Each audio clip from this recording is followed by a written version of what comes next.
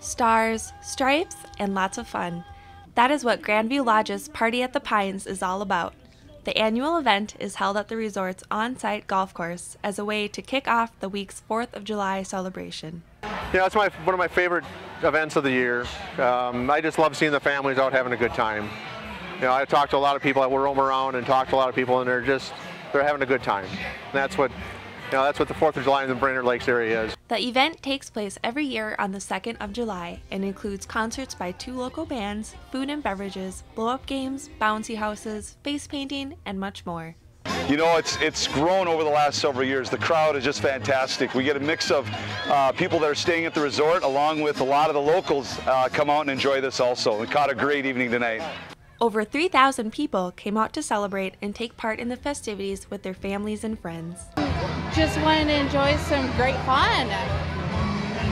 I've never been to one, and this year I decided to bring my son out.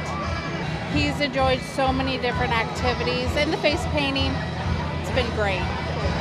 The night was topped off with a great fireworks display overlooking the golf course.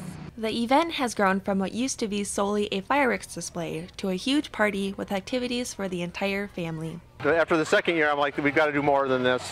You know, we have a big, beautiful area, um, hosts a lot of people.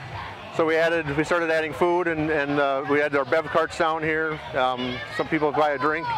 Um, then we started uh, after year after that, added the bands. Uh, then we just kept on adding things, and now we have a 24-foot climbing wall. Um, there's all kinds of kids activities for them to do and, and, the kids have the parents can come out and it's a pretty controlled area.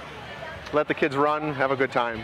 No matter what your age, there is something for everybody at this annual celebration. We got a nice crowd, a lot of kids, a lot of families, and we just like to cater to that because it's a, uh, it's a nice opportunity for, opportunity for us to interact with just a variety of people. So we're going to have a party tonight at the Pines. Reporting from Nisswa, Rachel Johnson, Lakeland News.